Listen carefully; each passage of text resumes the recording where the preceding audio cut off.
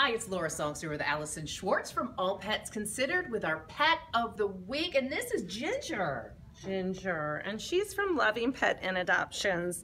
And what I was just saying about Ginger is Ginger is precisely the reason that we are excited to sponsor such a program like Pet of the Week.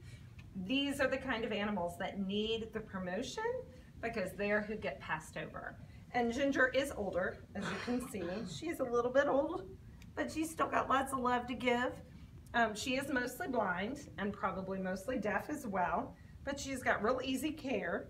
Um, she is crate trained and house trained, and she gets along well with other dogs as long as they're kind of calm and easygoing. She definitely, it's probably beyond tolerating a puppy, um, but she definitely would love a companion and a human companion too. I'm sure she'd be happy to lap sit all day. She's some good love seniors usually are, but she's available for adoption with Loving Pet in Adoptions.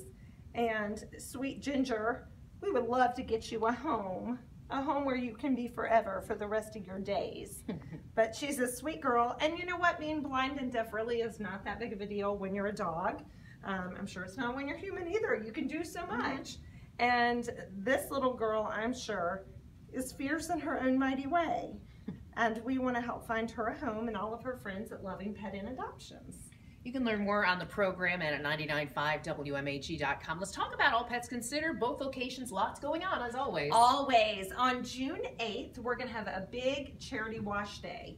We're going to have lots of prizes to give away. We have lots of fun stuff going on, so that's a week away. And we want to, or two weeks away, we want to invite everybody to come out, make sure that they um, come and get their dog washed and plan for that. We really want to have a whole lot of people out. And that is the Sedgefield location. Sedgefield location, mm -hmm. June 8th, and it's going to be from 10 till 8 at night. So it's going to be all day long. And somebody else washes your dog. Somebody else washes your dog for $20 and you can shop. It's a perfect way and 100% of that money will go back to the rescue organizations it benefits. It will benefit four rescue organizations. And we'll have our Wheel of Deals there. We'll have all kinds of fun stuff going on all day long allpetsconsidered.com for details, and please check out their Facebook page.